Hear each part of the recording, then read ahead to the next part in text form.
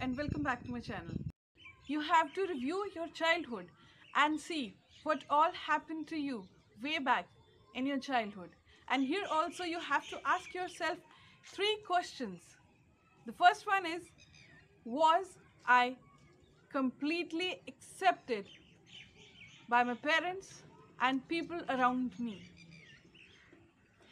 This will help you know which all parts you started disowning into your childhood.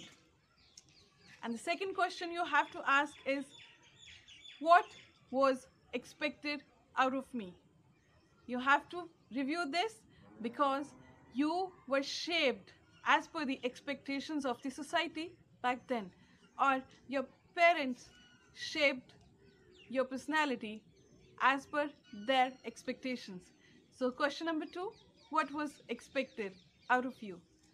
And the question number three what behaviors and emotions were judged by your parents?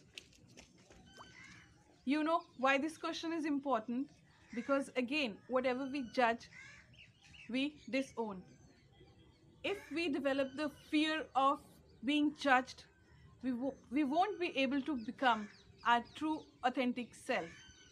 So, write down these three questions. You'll find the answers broadly what your shadow side is. Once you once you know your shadow side, the 80% of work is done. The 20% you have to sit with it and you have to do whatever it takes to heal it. Now, one pro tip. Once you heal your shadow side, you uncover and discover your gifts. Because at times you have many of the gifts, these can be uh, some artistic or creative gifts, or these can be some psychic gifts also.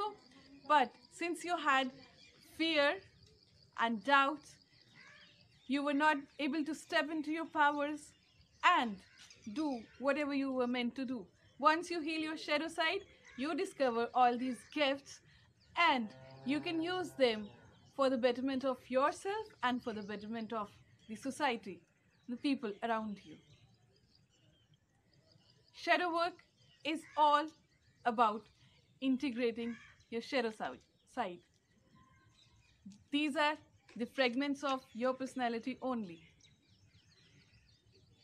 I hope I could give you the beautiful insight of what is shadow work, what how it affects your life, how to recognize your shadow side, and how to heal your shadow side.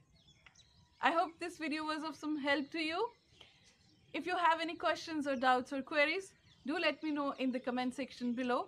I'll give you the remedies for that. I'll see you in next video. Till then, stay happy, stay healthy, stay fit and stay in high vibes.